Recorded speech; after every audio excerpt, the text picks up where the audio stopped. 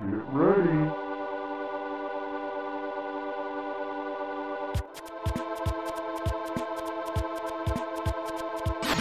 Welcome friends, today we're going to talk about where I get the inspiration for my videos. A lot of people recommend all of these analytical tools that aggregate tags and search terms, but I just have a good old scratch pad.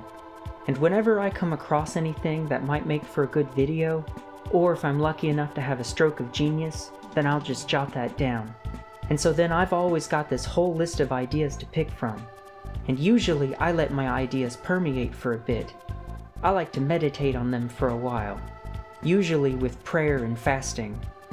And then if I manage to fall asleep while I'm hungry enough, I'll have a vision, where an angel comes to me in a dream and tells me to meet them in a cave or at some other special place. But usually it's a cave. So then when I wake up, I'll go right down to that cave where an angel reveals to me a perfect script inscribed on these glowing golden tablets. But I can't just take the tablets with me because they're magical or something and don't actually physically exist in our dimension. So then I have to bring a notebook so I can write down what's inscribed on those golden tablets. And there you have it.